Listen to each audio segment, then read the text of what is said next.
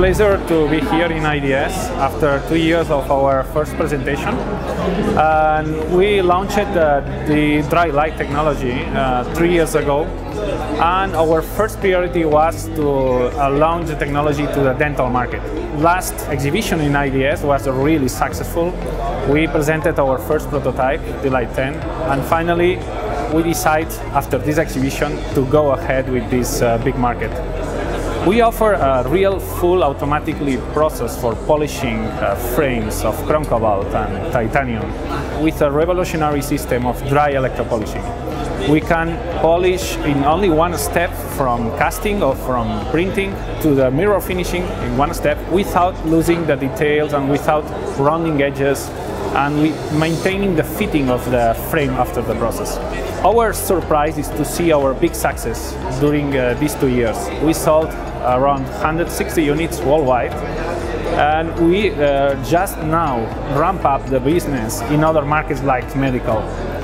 The big improvement of this technology is we can uh, ensure the time processing between this state of casting to the mirror finishing and uh, we can offer to the market of dental a predictable costs and high quality compared with hand polishing.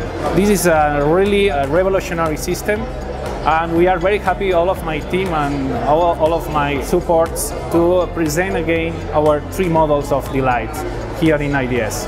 DLyte 1 for only one frame or three crowns or three bars, for example, and DLyte 100, that is this machine that is for up to nine frames per cycle. Between these two models, we have DLyte 10, that is perfect for the medium-sized laboratory. Uh, we want to continue with this uh, big success. We are very happy. Uh, we come from Barcelona, and all of our team were really happy to sell our products worldwide. It's really interesting to learn uh, with uh, other sectors, medical, aeronautic, and applying our DryLyte technology around the world.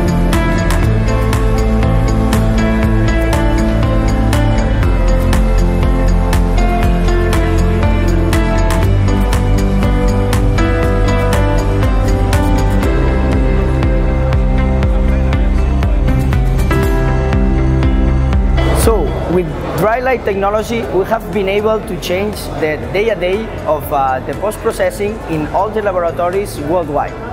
We generate added value in the post-processing system, so uh, we are able to automatize mostly 80% of the post-processing chain, giving added values as homogeneous results, reducing costs, saving time, and achieving high quality results.